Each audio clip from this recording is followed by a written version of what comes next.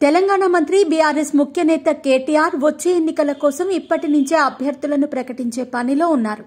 ముఖ్యంగా వచ్చే ఎన్నికల్లో తెలంగాణ సీఎం కేసీఆర్ మీద పోటీ చేసి గెలుస్తానని సవాల్ చేస్తున్న ఈటల రాజేందర్ను టార్గెట్ చేస్తున్న కేటీఆర్ హుజూరాబాద్ నియోజకవర్గంలో నిన్న పర్యటించి తనదైన శైలిలో ఈటలను విమర్శించారు.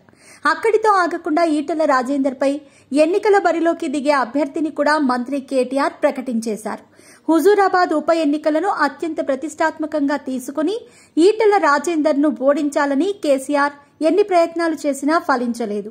కానీ వచ్చే అసెంబ్లీ ఎన్నికల్లో మాత్రం ఈటల రాజేందర్ను ఓడించటం టార్గెట్గా పెట్టుకుని రంగంలోకి దిగారు మంత్రి కేటీఆర్.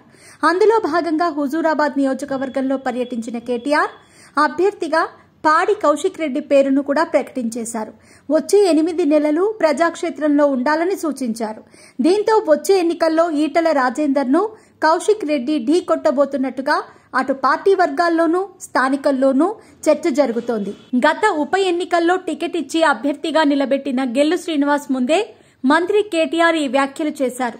హుజూరాబాద్ ఉప ఎన్నికల్లో ఈటల రాజేందర్ గెలవటం ఆయనకు వెయ్యేనుగుల బలాన్నిచ్చింది. ఇక దీంతో సీఎం కేసీఆర్ మీద పోటీ చేసి గెలుస్తానని ఆయన కేసీఆర్ను టార్గెట్ చేసే సవాల్ చేస్తున్న నేపథ్యంలో వచ్చే ఎన్నికల్లో ఎలాగైనా ఈటల రాజేందర్ను ఓడించటమే లక్ష్యంగా పెట్టుకుని ఇప్పటి నుంచే వ్యూహాలకు పదును పెడుతున్నారు మంత్రి కేటీఆర్. గత ఉప ఎన్నికల్లో బీసీ కార్డ్ బాగా పనిచేస్తుందని గెల్లు శ్రీనివాస్కి అవకాశం ఇచ్చి ప్రయోగం చేశారు. కానీ అది ఏమాత్రం వర్కౌట్ కాలేదు.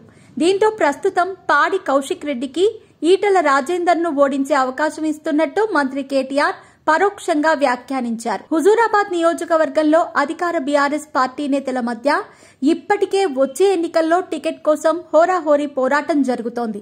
ఉప ఎన్నికల్లో ఎమ్మెల్యే అభ్యర్థిగా పోటీ చేసిన గెల్లు శ్రీనివాస్కు నియోజకవర్గ ఇన్ఛార్జిగా అవకాశం దక్కింది. తనకే టికెట్ వస్తుంది అనుకుంటున్న వేళ కేటీఆర్ ఊహించని షాక్ ఇచ్చారు. దీంతో ఒక్కసారి గెల్లు వర్గం పునరాలోచనలో పడింది. పార్టీలో ఉండటమా లేకుంటే బయటదారి చూసుకోవటమా అనేది సందిగ్ధంలో పడ్డారు. లాస్ట్లో కేటీఆర్ గెల్లుకు మంచి భవిష్యత్తుందని అనటం కూడా కోసమెరుపు.